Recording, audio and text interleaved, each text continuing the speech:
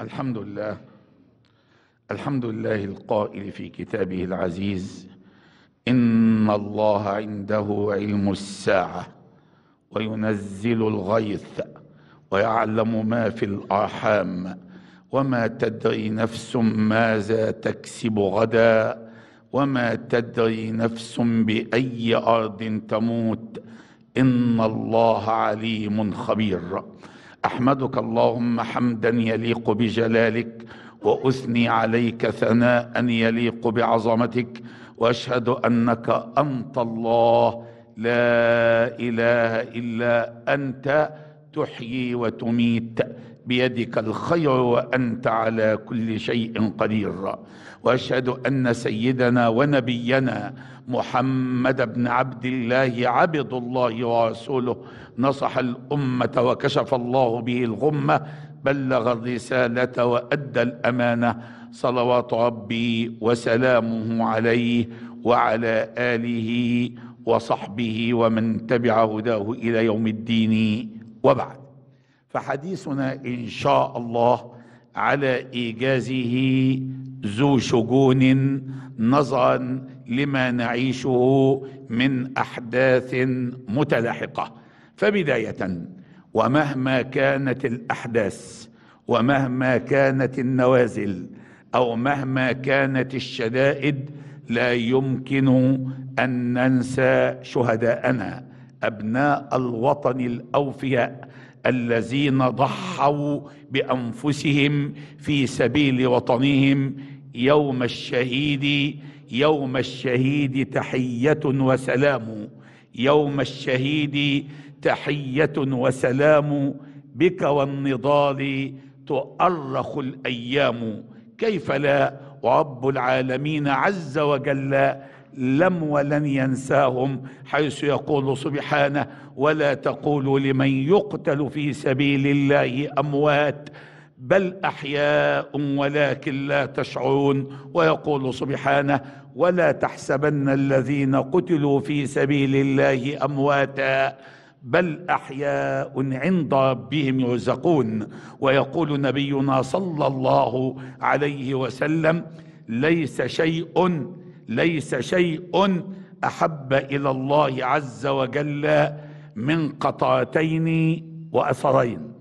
قطعه دموع من خشية الله وقطعه دم في سبيل الله وأما الأثران فأثر في سبيل الله وأثر في فريضة من فرائض الله. ويقول صلى الله عليه وسلم والذي نفسي بيده لا يكلم أحدكم في سبيل الله. والله أعلم بمن يكلم في سبيله إلا جاء يوم القيامة اللون لون الدم والريح ريح المسك. ومن إكرام الشهداء أن نكرم أسرهم وزويهم أن نكرم آباءهم وأمهاتهم وأن نعنى بأبنائهم وأسرهم. فإكرام الشهداء وأسر الشهداء إكرام للوطن ووفاء بحق الوطن. وعلى كل منا واجب تجاه هذا الوطن وللأوطان في دم كل حر يد سلفت ودين مستحق. وعند الشدائد تظهر معادن الرجال الطبيب في موقعه والمهندس في موقعه والعامل في موقعه. ومن هنا نوجه تحية تقدير لكل عامل وكل وطني شريف يقف إلى جانب وطنه وقت الشدائد.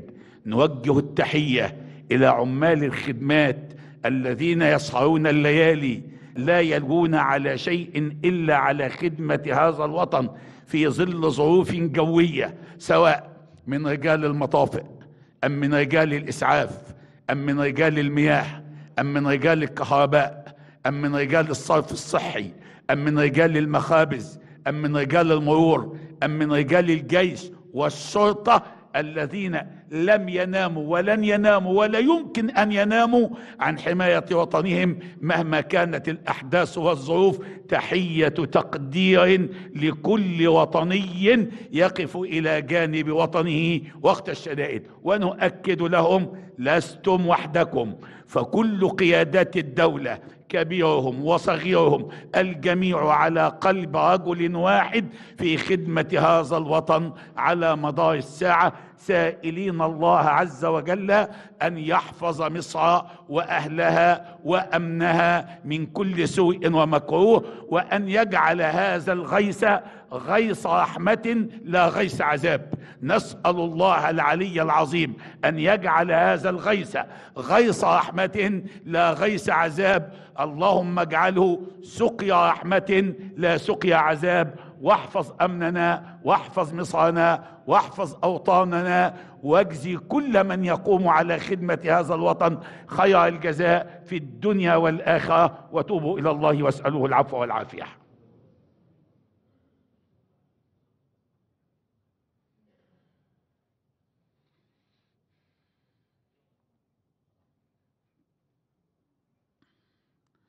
الحمد لله وكفى وصلاة وسلاما على عباده الذين اصطفى وعلى سيدنا محمد وآله وصحبه ومن اهتدى. في هذه اللحظات ووقت الشدائد والنوازل يجب أن نأخذ بتوصيات الجهات المختصة في الوزارات المختصة وتعليمات الدولة الحريصة على كل أبنائها.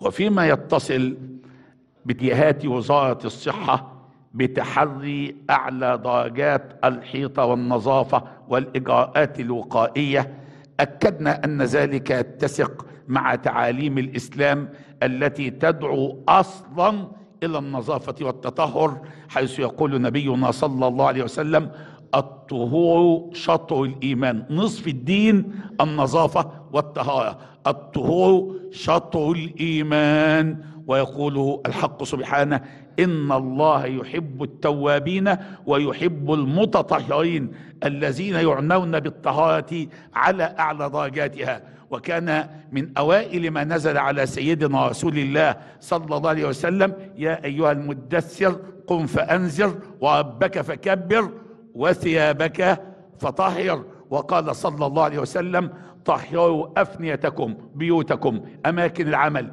الأماكن العامة فالطهارة نصف الإيمان. وقد أكدنا أن هناك فقه للحياة العادية وفقه للنوازل والشدائد.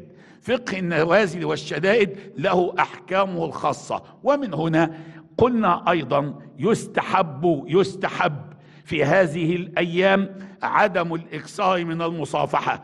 ولو تمكنت من تركها لكان أولى. وخاصة أن التوجيهات الطبية تقول أن المصافحة أحد طرق نقل العدوى إن لم تكن من أهم طرق نقل العدوى. فلا حاجة وأنت في فقه النوازل والشدائد أن نتجنب المصافحة. ما أمكن ما أمكن وعلى الأقل لا تكثر من المصافحة بلا داع. أما المعانقة وهنا نستفيد من الأحداث ومن قضايا التجديد لعل في الشدائد ما نتعلم منه في حياتنا ونصحح بعض عاداتنا الخاطئة. مسألة المعانقة. المعانقة عند المالكية عند الإمام مالك وفي فقه المالكية تكره أصلا في النوازل وفي غير النوازل وتكره أيضا عند الأحناف. قال بها الإمام أبو حنيفة وصاحبه الإمام محمد فعند المالكية وعند الإمام أبي حنيفة وعند الإمام محمد تكره المعانقة لا في النوازل ولا في غير النوازل تكره مطلقا. وعند الشافعية تكره إلا لقادم من سفر. ثلاثة مذاهب من المذاهب الأربعة تجعل المعانقة إما مكروهة أصلا أو تكره إلا لقادم من سفر كما عند الشافعية. وقال الحنابلة وأبو يوسف بجواز المعانقة وهذا الجواز مقيد بغير وقت النوازل وبما إذا كان لا يترتب على المعانقة أي ضرر. ومن هنا نقول من الأولى الأخذ برأي غالبية الفقهاء بعدم المعانقة أصلا وبالتخفف من المصافحة حفاظا لأن الحفاظ على الأرواح مقدم على كل شيء. ونؤكد أن على الإنسان إذا أحس بأعراض من التي تحذر منها وزارة الصحة أن يعمد إلى عدم إيذاء الآخرين. وأكدنا أن الإنسان المصاب بأي داء بأي داء كالإيدز كورونا أي داء يمكن أن يؤدي إلى الوفاة. إن تعمد نقله إلى الآخرين إن تعمد نقله فنقله إلى إنسان فمات فهو قاتل عمدا. وان نقله تساهلا وإهمالا ولا مبالاة. فمات به إنسان فهو قاتل خطأ فعلى من أصيب بداء أو أحس بأعراض أن يبلغ الجهات الصحية وأن لا يختلط بالآخرين ولا يؤمن أحدكم حتى يحب لأخيه ما يحب لنفسه. ما أختم به؟ بعض الناس يتحدثون ويقولون هل كل ما يحدث سواء من فيروس كورونا أم من الأحداث الطبيعية والمناخية لها علاقة بقضية الساعة؟ قضية الساعة كما قال الحق سبحانه إن الله عنده علم الساعة. يسألونك عن الساعة أيان مرساها قل إنما علمها عند ربي لا يجليها لوقتها إلا هو. بعض الناس يخرج الآن الأحاديث التي تحدثت عن قرب الساعة. قرب الساعة ليس وليد اليوم. منذ أن نزل القرآن على سيدنا محمد رب العزة يقول النبي صلى الله عليه وسلم وما يدريك لعل الساعة تكون قريبة فهذا القرب أهم من هذا. ماذا أعددت أنت؟ هب أن الساعة بعد مليار سنة أو غدا. المهم ماذا قدمت أنت؟ لما سئل سيدنا رسول الله صلى الله عليه وسلم متى الساعة؟ حتى يخص المنجمون والمشعوذون ومن يبحثون عن الشهر. سيدنا النبي صلى الله عليه وسلم يسأل متى الساعة؟ النبي يقول ما المسؤول عنها بأعلم من السائل. إذا كان سيدنا رسول الله صلى الله عليه وسلم يقول أنا لا أعلم مسؤول بأعلم من السائل. فمن ذا الذي يجازف بعلم الساعة ورسول الله يقول ليس المسؤول بأعلم من السائل. لكن سأله آخر متى الساعة. فقال له النبي صلى الله عليه وسلم ماذا أعددت لها؟ ماذا أعددت؟ قال أعددت لها حب الله وحب رسول الله. فقال النبي صلى الله عليه وسلم أنت مع من أحببت. والمهم عندما تكون هناك أحداث طبيعية أو وفاة صديق أو عزيز أو شهيد أو, أو إصابة في المال أو الولد الشدائد لا تقابل بالجزع. ولا بالسخط إنما تقابل بأمرين بالرضا بقضاء الله وقدره وبالتضرع إلى الله لأن الله يقول فلولا إذ جاءهم بأسنا تضرعوا فلولا إذ جاءهم بأسنا تضرعوا إن الله يستعتبكم فأعتبوه عودوا إليه. الشدائد لا تقابل لا بالسخط ولا بالجزع إنما تقابل بالرضا بقضاء الله وقدره وبالتسليم وبالتضرع إلى الله وبالتعاون والتكافل وأن يأخذ قوينا بيد ضعيفنا وغنينا بيد فقيرنا وأن يغيث بعضنا بعضا وأن نخلص لهذا الوطن. نسأل الله العلي العظيم أن يجعل هذا المطر وهذا الغيث سقيا رحمه لا سقيا عذاب. اللهم اجعله سقيا رحمه لا سقيا عذاب. اللهم أمنا في أوطاننا اللهم أمنا في أوطاننا اللهم احفظ مصرنا وسائر بلاد العالمين من كل سوء ومكروه وارزقنا الرحمة والتراحم والتكافل والتعاون وصل اللهم وسلم وبارك على سيدنا محمد ويا عبد الله أقم الصلاة إن الصلاة كانت على المؤمنين كتابا موقوتا.